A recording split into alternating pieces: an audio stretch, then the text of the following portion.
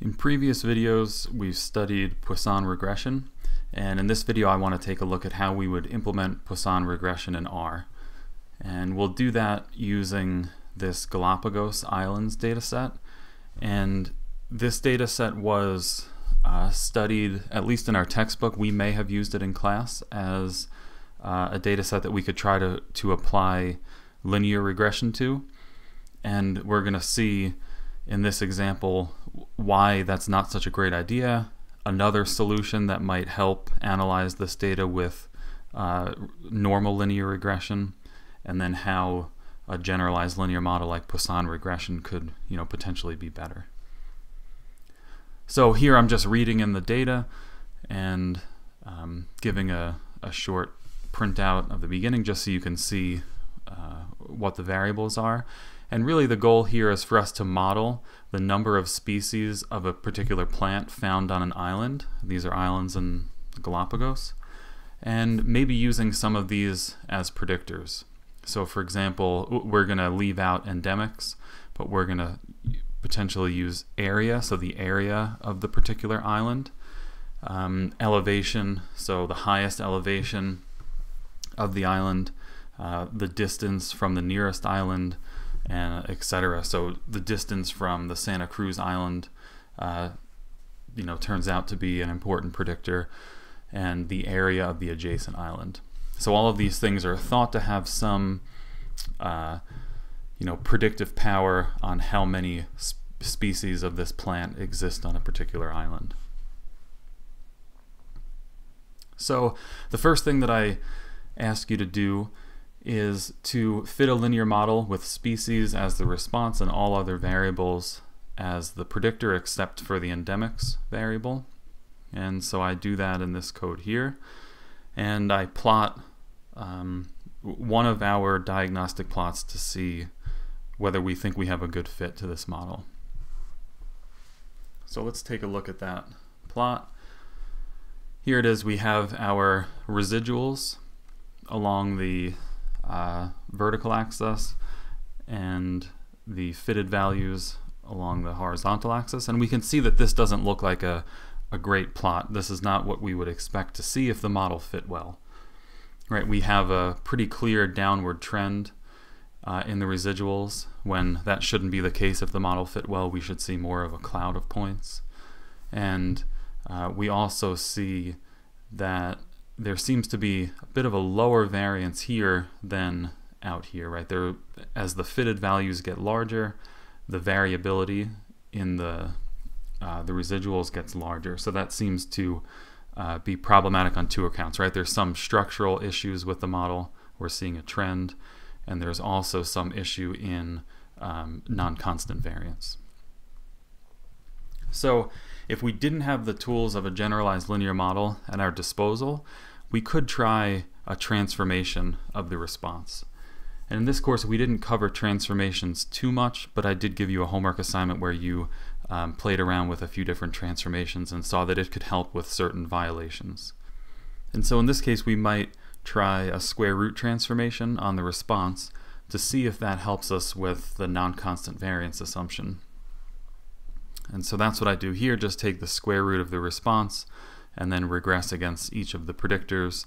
And again, let's plot our residuals versus fitted values.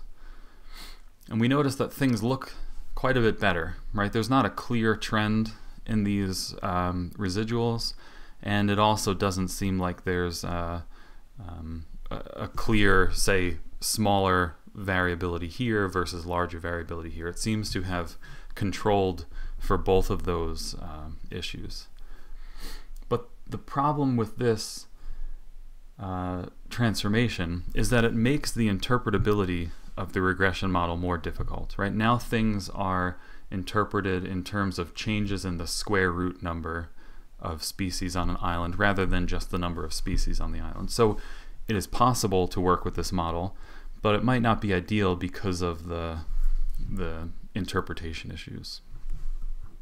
So part C uh, acknowledges these transformation issue, issues and suggests that maybe we should try a Poisson regression model. And the clue as to why we should try a Poisson model is that the response is a count, right? It's the number of species. And we know that there is a normal approximation to the Poisson distribution, and so that's why a normal model might be reasonable, especially if we do some sort of transformation. But if the original um, response is a Poisson is Poisson distributed, then we might uh, consider using that type of model. So here is the way we fit the Poisson model. It's very similar to the binomial model. We use the GLM function and same formula, right? Species as the response. Uh, this dot gives you all of the other values as predictors. Specify the data set and then uh, specify the family as the Poisson distribution. And this tells R to use the canonical link function, which is the log link for the Poisson. And so here we get a summary of the uh, of that model, and I also give the same plot. So here, this is a plot of the predicted values. So those are the fitted values along the uh, x-axis, and the standardized residuals along the y-axis. And notice here that for the predicted values of a generalized linear model, it's important to specify the type that you want to come out of this function. And we mentioned this in a previous video. Uh, there are different types. You could have it on the scale of the linear predictor. That's what the link type does. But you could also specify this on the scale of the, the mean, right? The scale of the rate parameter.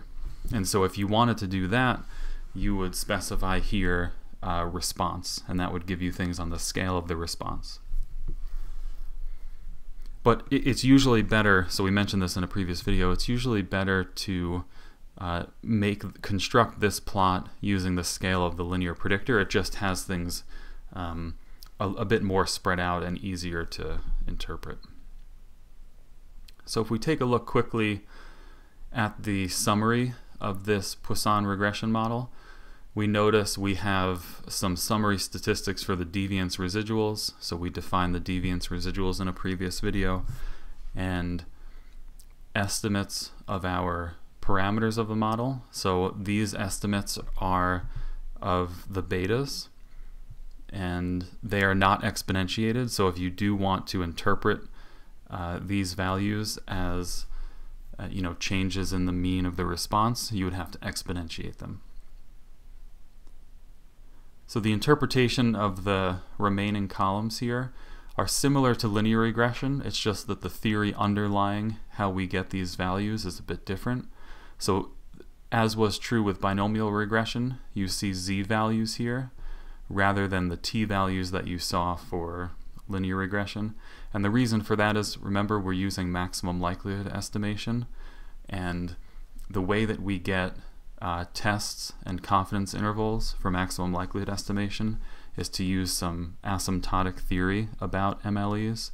And that theory says that the maximum likelihood estimators, um, you know, from which these values come, are asymptotically normal. So in the limit as the number of data points goes to infinity, uh, we have asymptotic normality, and that's where we get these tests from.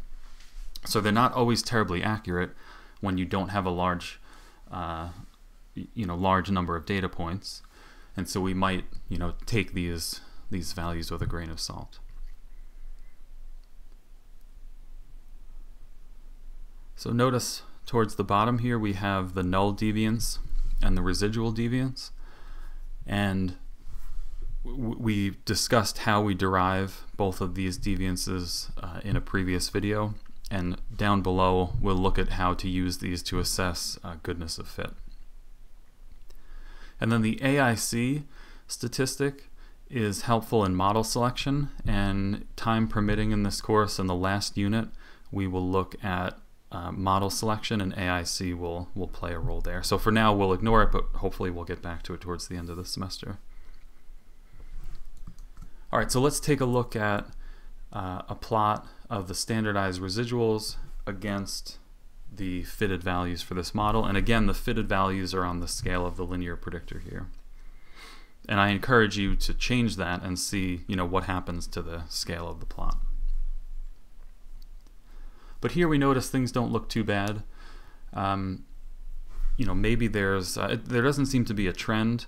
It does seem to be that there's like a bit of clumping here, so lower uh, variability maybe towards the middle, with slightly higher towards the ends, but that is not too prominent.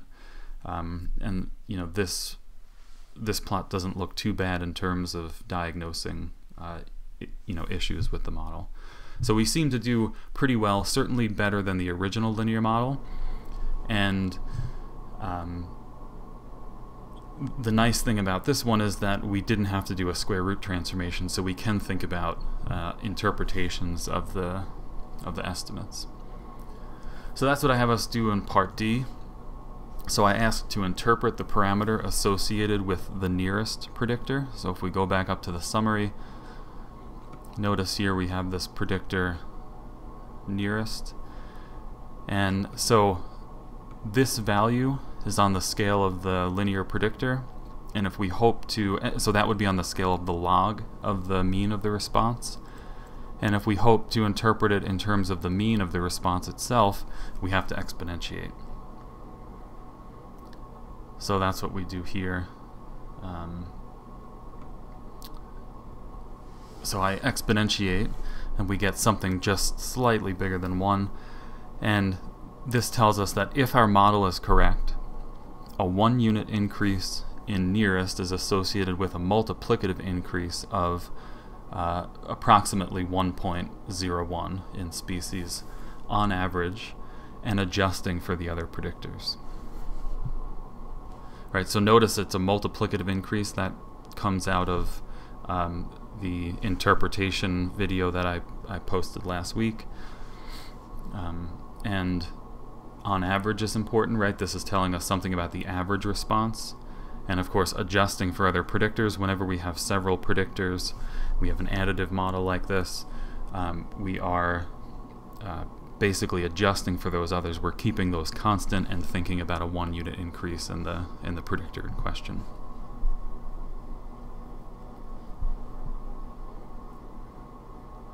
For the last part of the of this question, I ask us to calculate the deviance for Poisson regression and ask uh, if this value shows up in the summary.